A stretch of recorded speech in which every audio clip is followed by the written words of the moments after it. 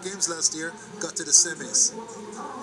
That's Andrew Riley. We saw his younger brother Adrian compete in the long jump earlier. This is our Olympic champion, Bruce, Omar McLeod. World indoor champion at 60 meters over the hurdles. Also the national record second place time 12.97 he says he's going to run sub 13 right now he would love to run faster than 12.94 to get the Jamaican national record on his outside is Ronald Levy Hubert intercollegiate champion twice but now at 13.10 and uh, the new kid on the block looked good in the semi-final after a shaky start so that's Ronald Levy you heard Hubert give him the label new kid on the block Speaking about kids, this is certainly a kid. Bruce, this is Dejour Russell. He's still a youth athlete. The qualifying standard to go to the World Championships is 13.48. He ran 13.57 in the semi-final. In lane seven, we're going to see the Olympic semi-finalist Deuce Carter. Came from the multi-events at Calabar, got through to Olympic semis last year, got washed out in his heat, so got a second chance, got through to the semis. 13.20 last year. Here's a national record holder, Bruce. 12.94 his best. He has an Olympic bronze medal from 2012. He has a 2015 silver medal in 110 meter hurdles.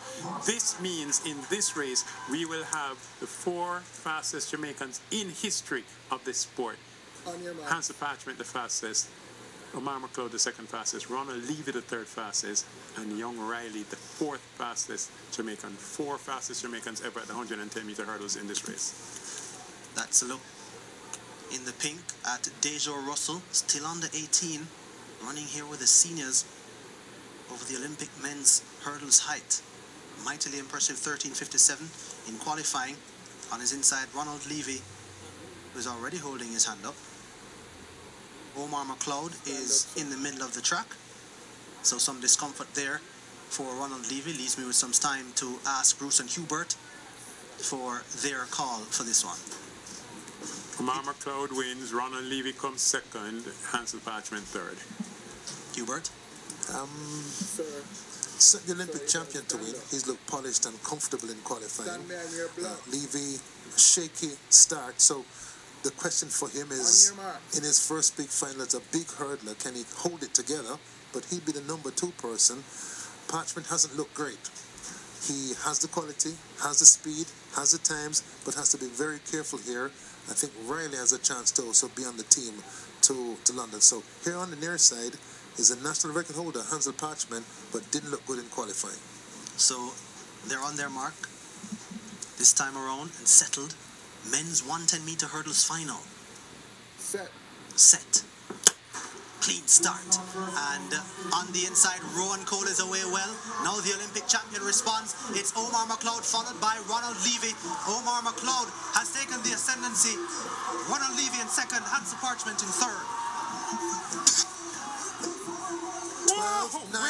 National new record. national record by Omar McLeod. I've got 12.9 on my clock. Not just sub 13, but a new national record. Great run by Omar McLeod. Polished, smooth, comfortable. Number one. The only thing he didn't have that he wanted was the national record. Positive 0.7. A new national record at 12.70. Here is the national record race. Ronald Levy actually led this race. Dejour Russell was up there, but at hurdle number five, the Olympic champion pushes away. Here is Omar McLeod stepping clear. Look at the third place. Hansle Parchment, his best race of the year. McLeod leans hard. So one, two, three, we got that right, Hubert. Respect to our Olympic champion. A new personal best on the track of champions here in Kingston, Jamaica. Proud of Ronald Levy, led that race. 13.13 for him, and then a season's best for Hansle Parchment in third, 13.17. So, the usual, the, expected ones have come through. 12.90, that's a national record for Omar McLeod. Ronald Levy second, 13.13. Hansle Parchment, 13.19. Very, very impressed. 12.90 national record. Now, uh, McLeod has everything. He's the Olympic champion, world indoor champion, Jamaica's national record holder, sends a signal to the other hurdlers in the world. He's ready to rock and roll in London. And uh, very impressive. Manchester to KC to Arkansas. Good jobs done at every stage of his career. The man from Sanguinetti is world number one in the hurdles. No doubt about it. He's the fastest time. He had the fastest time in the world, 13.01. He now is the only man to go sub 13 in the world this year. Still have to check the times out to the US. They have their national championships going on now. But he got exactly what he wanted.